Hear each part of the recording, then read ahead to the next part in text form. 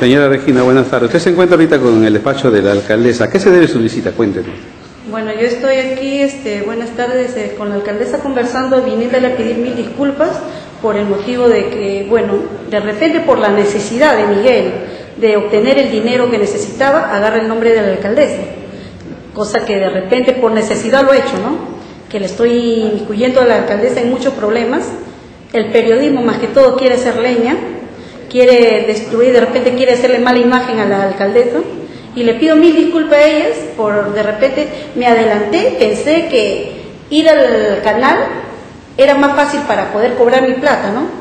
Para que ella, la señora, pudiera conversar con Miguel, pero veo que aquí a sinceridad me dice que no lo conoce y que tampoco nadie le debe, de acá de la alcaldía, le debe a Miguel Sotelo. De la municipalidad. Pero aquí en la municipalidad sí me dijeron que, que sí le debían, cosa que no es cierta. Usted entonces se está rectificando y está Claro, dejando en claro que la alcaldesa no tiene nada que Por ver en este tema. Y lo dije en la, en la radio, que la alcaldesa no tenía nada que ver en esto. Lo dije. Que si he agarrado el nombre solamente lo que habían mencionado, pero que más no, la alcaldesa no tenía que ver en nada de estas cosas. ¿Cómo se le involucra a la alcaldesa? Un poquito, uno- unos detalles eh, de la entrevista que se dio. ¿Por, Eh, por qué termina involucrándose la alcaldesa en este tema? Bueno, Miguel Sotelo, yo le presto este 65 mil soles para la obra y desagüe de Asunción 8. Luego me dice de que la alcaldesa le, est- le estaba pidiendo ¿no? un cupo de 20 mil, cosa que de repente agarró el nombre de ella para poder obtener el dinero. Cosa que hasta el día de hoy no me da cara, no me cancela. Tengo letras notariales todo para perjudicarlo, así como he dicho en la radio. Tengo para votarla a su mamá, pero me da lástima, porque su mamá de Miguel Sotelo es una persona anciana que anda cojita. Y qué lástima me da, señora alcaldesa, sacarla afuera a la calle y votarla a la señora. Porque puedo hacerlo porque tengo letras, ¿no? Y su casa es de Miguel. Puedo hacerlo.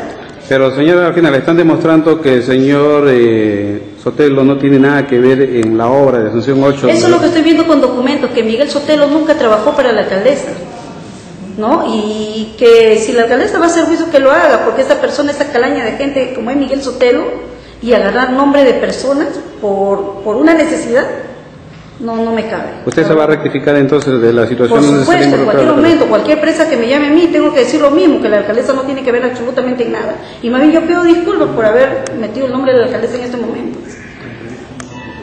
¿Cómo se dio la entrevista con el señor Arroyo? Porque tenemos entendido que parece por ahí se habría empezado esta manipulación de esta mala información. Solamente, mire, yo conversé con él, fui a buscar a Chabelita y no la encontré para decirle que lo haga sobre Miguel Sotelo directo. Pero él, no, no me dice, pero este, yo le comencé a contar el problema que había pasado, ¿no? Miguel me contó eso, que era de repente, habrá sido para la cabeza. No, pero me manchan a ella, dile que ella ha sido. Entonces, cosas yo no puedo comprometer tampoco, ¿no? O Yo sea, solamente, la, la entrevista ha sido dirigida, insinuada para que se afecte el nombre de la alcaldesa. mayormente, mayormente. Ok, señora. Gracias y de verdad nos gusta que haya venido usted personalmente a disculparse con nuestra Sí, alcaldesa. pido mil disculpas de verdad, gracias, porque nunca jamás me gusta estar involucrada en estas, estas clases de, de problemas. Ok, señora Regina, gracias. Gracias. Más bien, de verdad. Ay, nunca he estado en estos problemas, de verdad, y no pensaba manchar su imagen tanto así, de verdad. Sí, la Sí. entrevista, ahí. No, pero no se preocupe, yo voy a hablar. Cualquier cosa ya puede ser el que señor hablar. No puede mancillar mi nombre, sí. Sí. no puede coger un nombre de cualquier persona para poder decir, este, voy a préstame para poder dar a la señora. Lo he hecho por necesidad de Yo siempre, que querido. yo siempre cuido, cuido mi, mi dignidad, mi honor, por respeto a mis padres, a mis hijos, pero nadie puede mancillar el honor de una persona. Claro. Discúlpeme porque la verdad le metí muchos problemas en este momento. Disculpas. Ya, gracias.